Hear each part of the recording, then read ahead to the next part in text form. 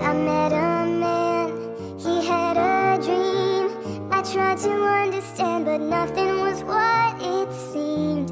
Sometimes that's how God's roll. We'd sit for hours.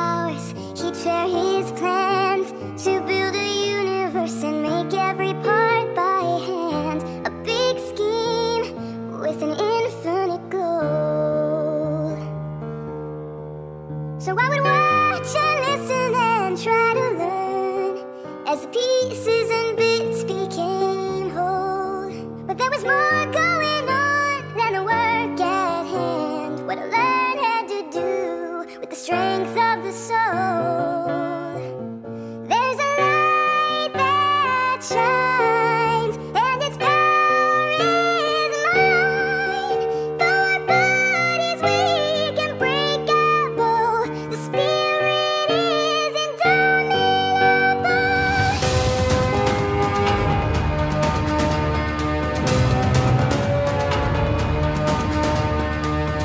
Step by